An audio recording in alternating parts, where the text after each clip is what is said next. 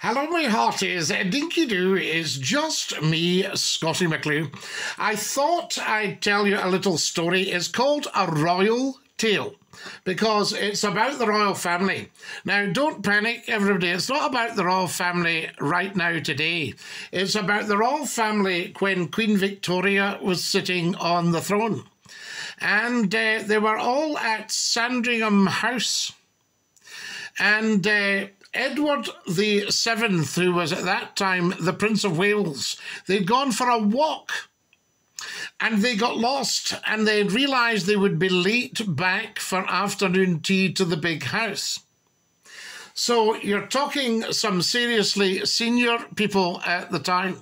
So they flagged down an old carter who was just trotting by on his cart like and uh, he knew that uh, that uh, the the Prince of Wales, as he was at the time, the future King Edward VII, was a right good mortal farmer.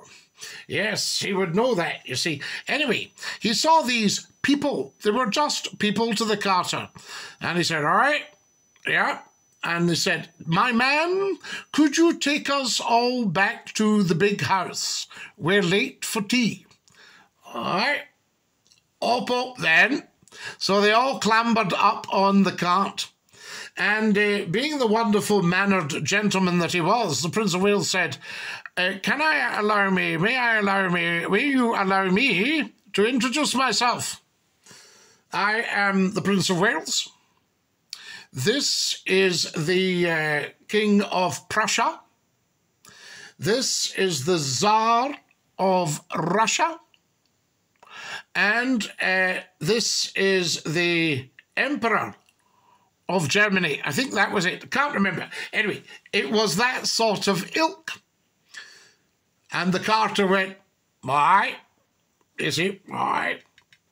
Touched the cap full bit.